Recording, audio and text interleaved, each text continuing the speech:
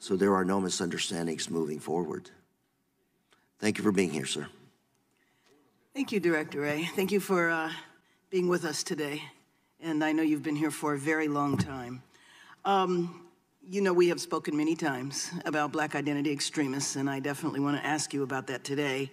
Um, I understand that the Bureau no longer uses BIE and instead categorizes these cases under the broader label of racially motivated violent extremism.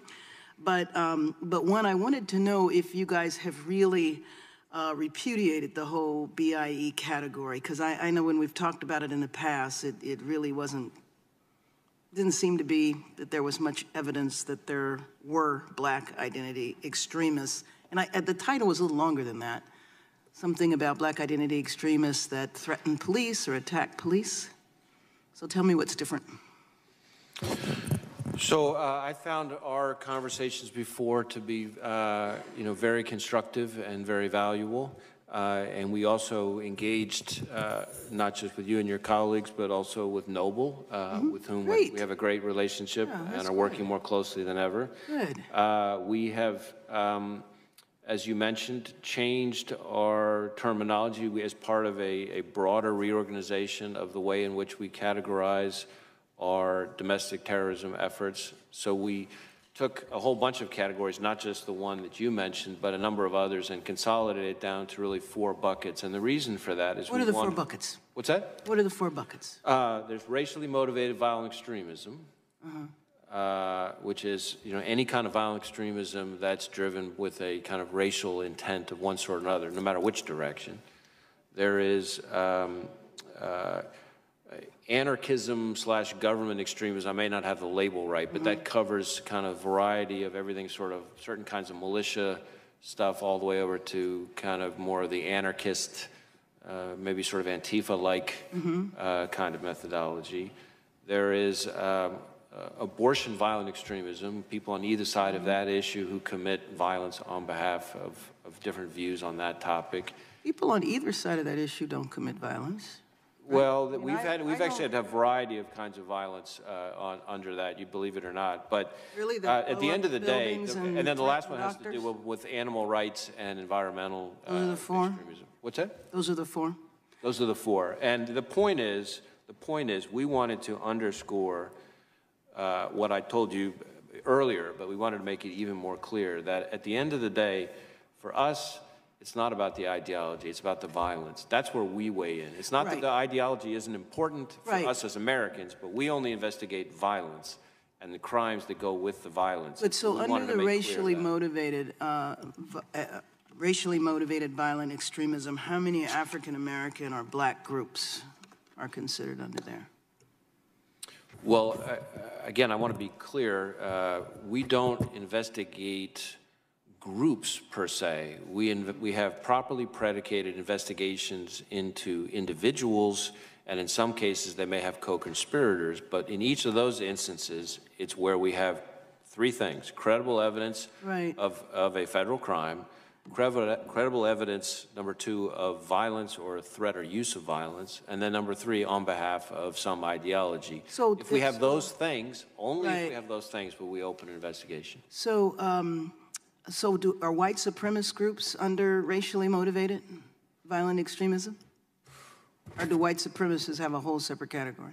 Well, again, I want to stay away from the use of the word groups. We certainly investigate uh, white supremacist motivated violent extremism in the same category that we're talking about. So, for example, we just, uh, just last month uh, arrested uh, eight members, I think, of a group known as the Base. Uh, and there were arrests that were made uh, not just Oh, in yeah. my home state of Georgia, but also in Getting ready to go to Yeah. Virginia, correct? That was the What's group, that? that was the group that was on their way to Virginia?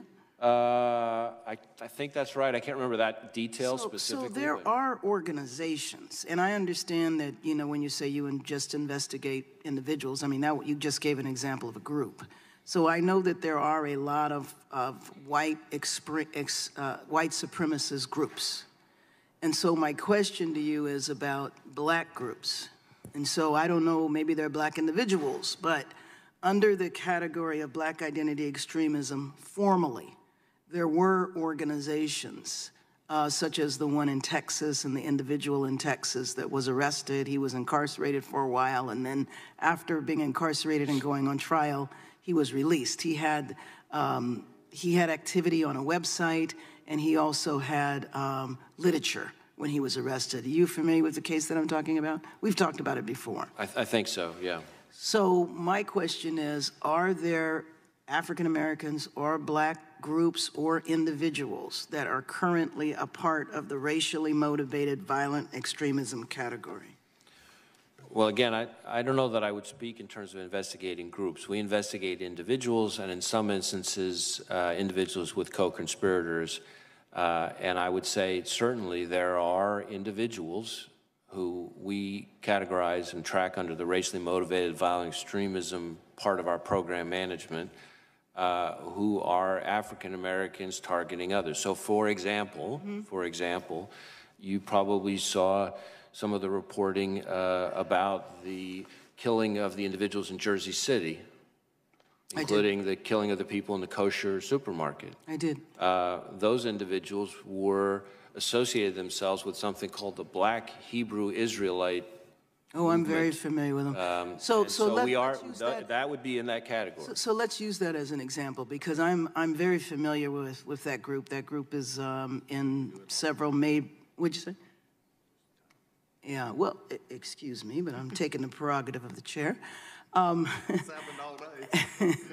uh, Using that group as an example, is that a group, be- because they are open, you know, I mean, you see them on street corners in different groups. They're not a secret group at all. Is that group part of the racially motivated um, extremism? The group, I understand the act that took place, I understand the individuals, and it's not clear their level of association. What I would say to you on that is that we have some investigations into individuals mm-hmm. who associate themselves with that movement. Beyond those two people? Yes. Okay.